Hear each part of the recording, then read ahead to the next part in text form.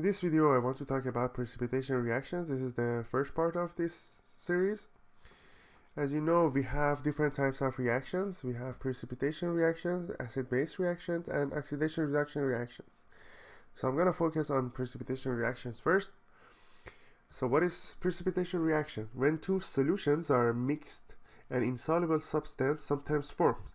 And that substance or that insoluble substance is a solid is a solid and separates it from the solution. And this solid is called a precipitate. So such a reaction is called a precipitation reaction and the solid that forms is called a precipitate. So it means that we have two solutions when we mix them together. One of them one of the products will be the solid phase. We call it precipitate. Let's have a quick example a precipitation reaction occurs when an aqueous solution of potassium chromate, as you see here, which is a yellow, is added to a colorless aqueous solution containing barium nitrate. So these are the reactants of our reaction. So when these solutions are mixed, a yellow solid forms. A yellow solid forms, it means that that's a precipitate and the reaction we have is precipitation reaction. So the two reactants we have here are aqueous solutions. It means that they are dissolved into water and as we saw it before in electrolyte part, when we dissolve a ionic compound into water, it's going to be dissociated into different ions, which is one cation and one anion.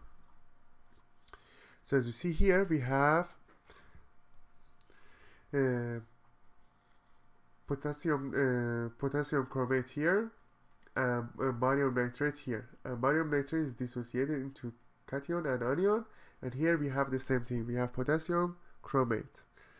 As you see here the, the potassium chromate is yellow and the barium nitrate is colorless. So let's talk about each reactant first. We have barium nitrate in the aqueous phase means the barium nitrate, a white solid has been dissolved in water. Barium nitrate solution contains the cation and anion. The cation is barium and anion is nitrate. And this barium nitrate aqueous solution doesn't contain any original compound before that we had before dissolving it in water. So it contains only the cations and anions in the solution. We have the same thing for potassium chromate. Since solid potassium chromate contains the potassium and chromate ions, aqueous an aqueous solution of potassium chromate, which is prepared by dissolving solid potassium chromate in water, contains these separated ions. So we have these ions too. So we have two reactants in the beginning. Each of them is dissociated into different ions. So we have two cations and two anions as reactants. So we have it here. So that's their reaction. We have these two reactants. Both of them are in a aqueous phase. We don't know anything about the products yet, but we know both of these aqueous solution is dissociated into different ions. We have potassium and chromate from here, and we have barium and nitrates from here. So it means that in reactants in our solution, we have four different ions. Again, two ions, two uh, cations, and two anions possibility. When ions form a solid compound, the compound must have a zero net charge. Thus, the product of this reaction must contain both anions and cation to get a to get this zero net charge. So, it in the product side, we need to have one cation and one anion in a compound. So, for example, two cations cannot form a solid, or two anions cannot form a solid. So, Barium and potassium cannot combine together to form a so solid, and on the other hand, nitrate and chromate cannot combine and to form a solid. As you see here, we, these two cannot uh, combine, and these two cannot combine. So in the product line, we need to have two products, and each of them has to have a cation and anion. So the possible combination of a given cation and a given anion from the list of ions are nitrate, chromate, barium, and potassium. So we can have these possible compounds, and each of them has one cation and one anion. Potassium chromate, potassium nitrate, barium chromate, barium nitrate. So barium nitrate and potassium chromate cannot be because they are reactant. If I go back here, potassium chromate and barium nitrate are reactants, so we cannot have them in the we cannot have these two in the products.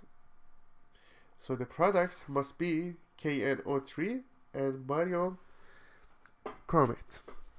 So these two compounds are the products. So now let's see which one of these two forms a solid or forms a precipitate. The only possibility is KNO3 and barium chromate. So potassium and nitrate ions are both colorless, so the, if the solids, which is KNO3, dissolved, it is going to be white, not yellow. On the other hand, the chromate E ion is yellow.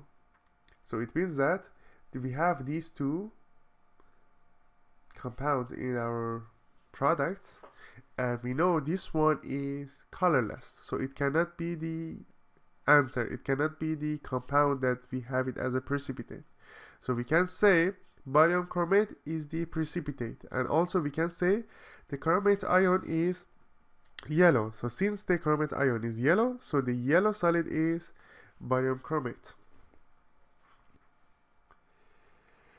so that's the that's the overall precipitation reaction. We have potassium chromate plus barium nitrate. Both of them are in aqueous phase on the product line we have one aqueous phase and one solid. That's why we have aqueous uh, precipitation reaction. So barium chromate is a solid it's our precipitate. And on the other hand we have potassium nitrate which still exists in a solution as different dissociated ions. We still have our in the solution potassium K plus and nitrate ions. So we, we have them as dissociated ions but this one forms during the precipitation reaction.